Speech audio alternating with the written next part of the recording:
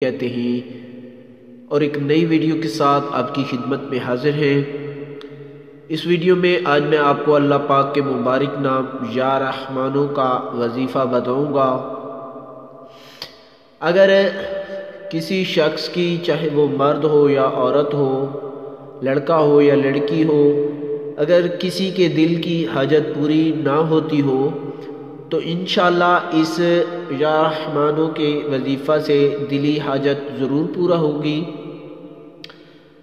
اگر کسی لڑکی یا لڑکے کو کوئی مناسب رشتہ نہ ملتا ہو یعنی اس کے دل کی حاجت پوری نہ ہوتی ہو، تو اسے چاہیے کہ اس سب مبارک یا رحمانوں کو علیحدہ پاکیزی پاکیزہ کسی پکیزہ جگہ پر بیٹھ کر باوضو روزانہ تین ہزار ایک سو پچیس مرتبہ پڑھا کرے، اس اسم کا ورد کیا کرے یعنی تین ہزار ایک سو پچیس مرتبہ یا رحمانو پڑھا کرے، ورد کیا کرے، اور ہر روز وظیفہ ختم ہونے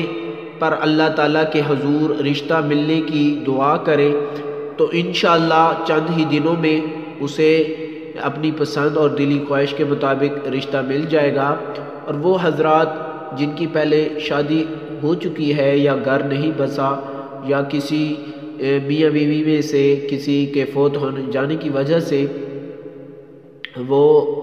ان کا گھر نہیں بنا، تو وہ بھی یہ عمل کر سکتے ہیں، انشاءاللہ اس سے مناسب رشتہ مل جائے گا۔ تو دوستو اگر آپ کو ہمارے کسی بھی ویڈیو میں کسی بات کی سمجھ نہ آئے تو آپ ہمیں کمنٹس کریں۔ انشاءاللہ